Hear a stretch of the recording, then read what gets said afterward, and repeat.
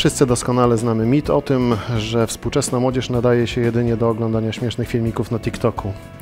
Jeżeli w to wierzysz, to ten filmik nie jest dla Ciebie. Problem w tym, że od stania założonymi rękoma jeszcze nic w otaczającej nas rzeczywistości nie zmieniło się na lepsze.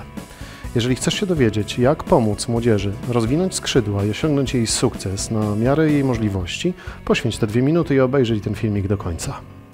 Chciałbym Cię zachęcić udziału w konkursie na tak zwane małe granty. Jest on skierowany do organizacji pozarządowych z małych wiosek i miasteczek liczących do 20 tysięcy mieszkańców.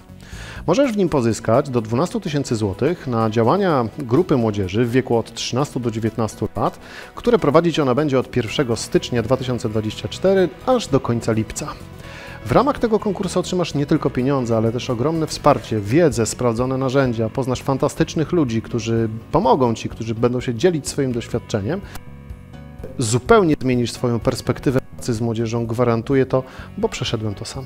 Jeżeli nie wiesz, czy program Lunać Szansa jest dla Ciebie, jeżeli obawiasz się, czy Twoja organizacja podała takiemu działaniu, jeżeli może w dokumentacji konkursowej nie znalazłaś, nie znalazłeś odpowiedzi na wszystkie nurtujące Cię pytania, skontaktuj się ze mną, w miarę możliwości będę starał się Tobie pomóc, bo równać szanse to niesamowita przygoda i niesamowita szansa na sukces dla Twojej młodzieży, dla młodych ludzi z Twojej miejscowości.